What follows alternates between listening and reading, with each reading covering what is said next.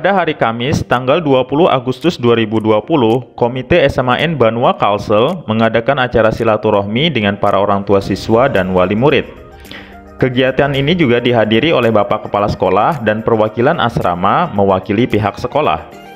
Pada kegiatan ini disampaikan beberapa informasi tentang kegiatan sekolah yang akan melibatkan peran aktif orang tua, terutama di masa pembelajaran daring. Ibu Hastati Pujisari sebagai Ketua Komite SMAN Banua Kalsel dalam sambutannya mengatakan bahwa acara seperti ini adalah acara rutin yang dilakukan komite sekolah setiap tahunnya. Ibu Hastati mengharapkan adanya sinergi antara orang tua dan sekolah untuk pendidikan yang lebih baik bagi siswa. Pada kegiatan ini juga dikenalkan Parents Club sebagai wadah non-formal bagi orang tua untuk saling bertukar informasi, pengetahuan, hobi, dan skill. Kegiatan ditutup dengan ramah tamah dan perkenalan diri para orang tua, terutama orang tua kelas 10 yang baru bergabung di komite sekolah. Sekarang ini eh, kita selalu hidup dalam dunia maya sekarang ya. Jadi hampir berpindah dari dunia nyata ke dunia maya.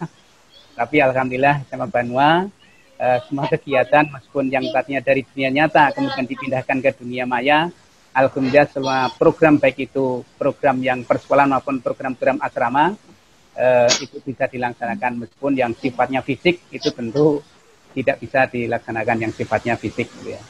Tapi alhamdulillah kegiatan-kegiatan juga bisa dibilang eh, ya 80 persen sampai 90 persen itu bisa dilaksanakan non non fisik. Mahir Martin, TV Banua, SMAN Banua Kalsel.